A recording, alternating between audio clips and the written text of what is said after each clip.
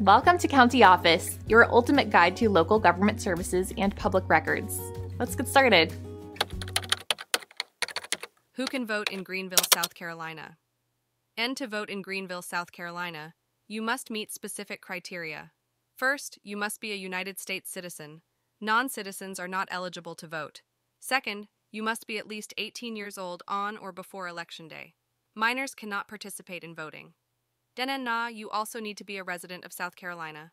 Residency is required to ensure you vote in the appropriate local and state elections. Additionally, you must be registered to vote. Registration is a mandatory step before you can cast your ballot. NN, you cannot vote if you are currently serving a sentence for a felony conviction. However, once your sentence is completed, including probation and parole, your voting rights can be restored. You must re register to vote after completing your sentence. It is also essential to have a valid photo ID when you go to vote. Acceptable forms of ID include a South Carolina driver's license, a South Carolina Department of Motor Vehicles ID card, a voter registration card with a photo, a federal military ID, or a United States passport.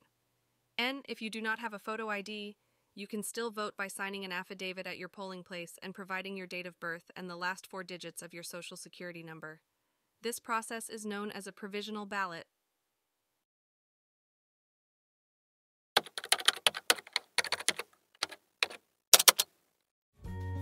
To learn more, check out these links, which you can click in the description below. And feel free to comment your questions. We're here to help. Thanks for tuning into our video. Please like and subscribe and leave a comment below. See you in the next video.